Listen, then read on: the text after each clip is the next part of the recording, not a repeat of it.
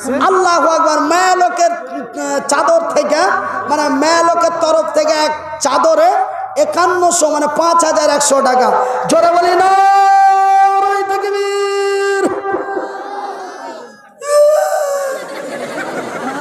মামুর বেটারা পনেরো দিন খাইনি গরু গরু এরাকে পুচ করছি যে কি কি রান্ধেছ জি ভাই?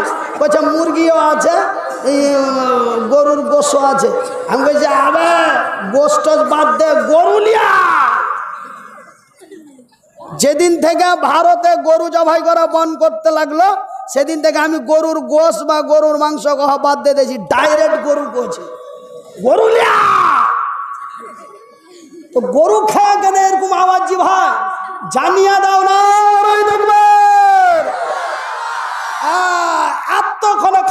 বেটারা একটু কাজে কাজ করেছে।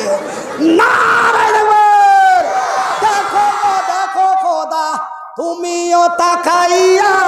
দেখো গো, দেখো খোদা তুমিও তাকাইয়া। তোমার কত বান্দা বান্দি এখানে বসিয়া।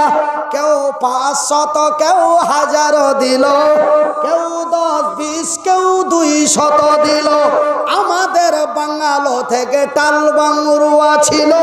ওখান থেকে হাজি সাহেব এখানে আসিল। আসিয়া দুই শত দেখা দেয় দিল দান। কবুল করিবে খোদা পাগ সুবাহান। আরও কত মা বোন আড়ালেতে ছিল কেউ পাঁচ, কেউ দশ, কেউ বিশ দিল। আরও কত শত জনে পাঠাইছে দান। উদ্দেশ্য কবুল কর পাকে আত্মীয় স্বজন যারা আছে মুসিবতে, তড়াইয়া নাও খোদা রোজা হাসরেতে।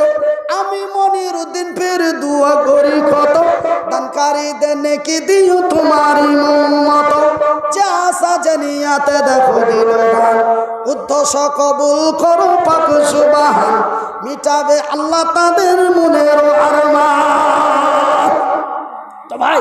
এক এক হাজার টাকা করে পাঁচটা। তারপরে ওই যে আমি কিন্তু সুরা আর রহমানের ভিতরে যাইতেই পারি। ওয়াচ আধখানি বাকি আছে। ওইখানে ওয়াজ যদি শুনতে যাও আচ্ছা সিনেমা কে কে দেখে যাও, একটু হাত তুলে দেওয়া দাও।